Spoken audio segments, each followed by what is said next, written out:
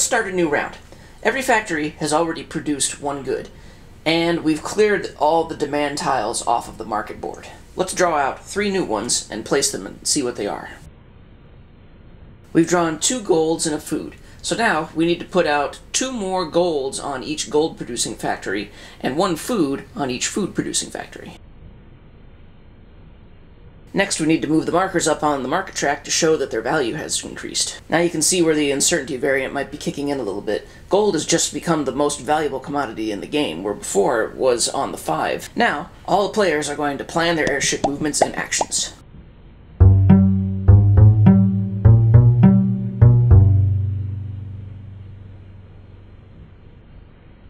Now that everybody's finished planning out all four of their actions, everyone will simultaneously reveal the first card in socket number 1 on their player board.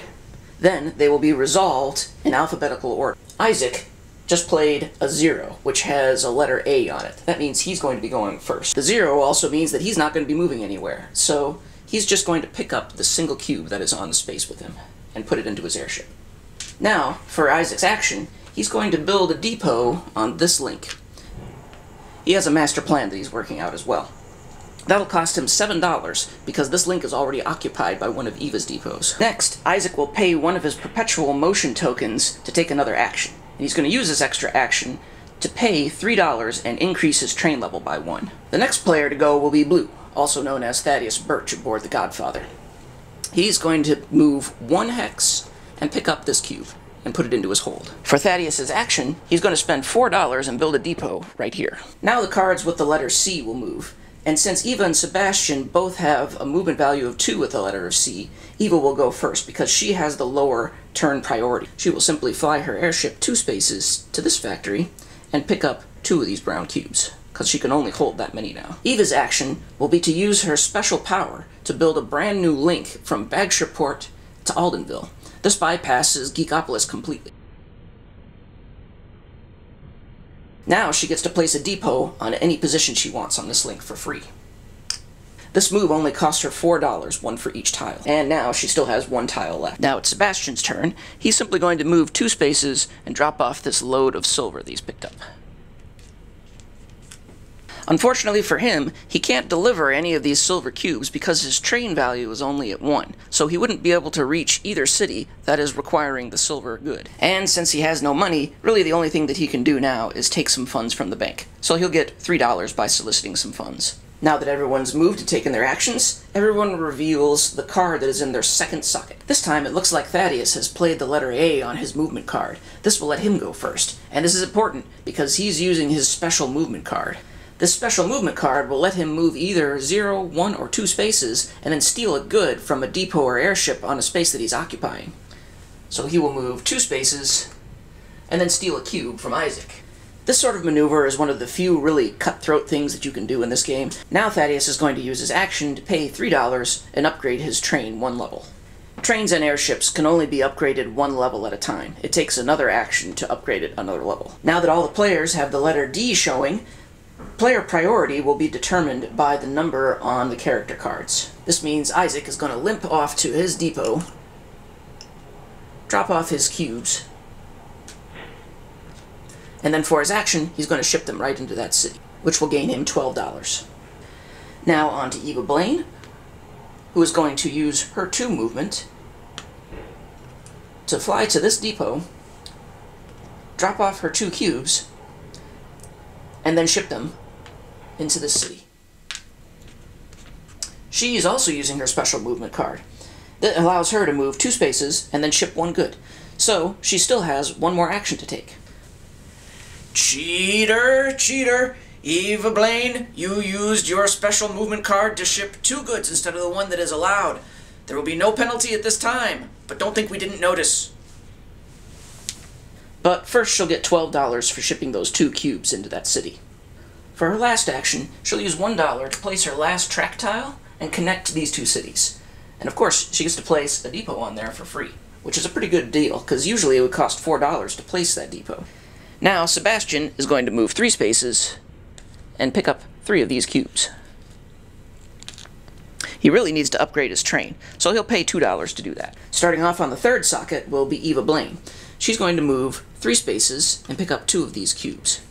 She really needs to upgrade her airship hold a little bit more, but the Sphinx is notoriously bad at carrying things. Even so, upgrading her train is more important at this point, so she'll pay $3 to do that. Now it's back to Sebastian, who's going to move three spots back to his depot and drop off yet more goods. He really needs to start shipping some of this stuff.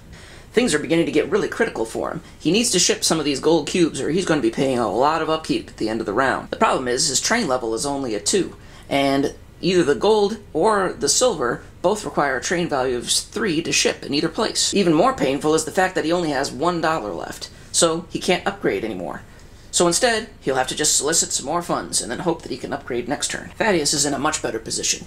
He's going to move three spaces and drop off both of the cubes in his hold. However, now he has a little bit of a dilemma. He would love to ship all three of these white cubes because they're the highest value, but the city only has space for one more. Still, the return is greater to ship there than it is to ship into this city, so he'll do that. Cities can only hold five goods, so this last good will fill this city up.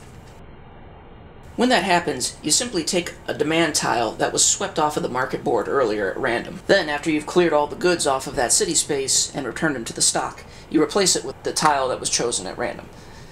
This just happened to be more textiles.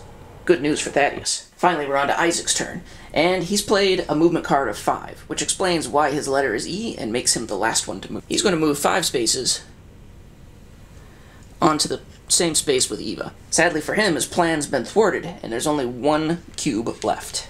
Now he'll use his action to build a depot here along the edge of the board. This will cost him $4. Interestingly enough, Isaac's now going to be the first one to go because he played a movement of 2 with the letter C on it. So he'll move two spaces and drop off this cube that he just picked up. And his action will be to ship it. He's going to ship it into this city, and since he has to pass through one of Eva's depots along the way, he will have to pay her $1 from the $8 that he gets from that shipment. Eva will move three spaces next onto this depot and unload these two cubes, and she will immediately ship them into the city as well. This will give her a total of $16, and she doesn't have to pay anyone because she didn't go through his depot. Thaddeus is going to kick on his afterburners and swoop in to pick up these cubes. And he has enough room so he can pick up all three. Once again, it seems like luck is on Thaddeus' side. This city is now demanding more textiles, so he can ship these two cubes directly in. This is definitely the preferred method for him, because if he shipped this silver in, he would only get $5 as opposed to the 12 for delivering into here. And so he collects $12. Finally, we come to Sebastian and his tale of woe. He wanted to move five spaces to come here and pick up these cubes, but he's already got more than he can possibly ship. In addition to that, his train still can't reach either city, so he has a difficult decision to make. Does he either upgrade his train using the little money that he has left, or hold on to more money so that he can pay for the upkeep to keep more of his cubes? These are some of the difficult decisions that you have to make during the course of a game of Kings of Steam.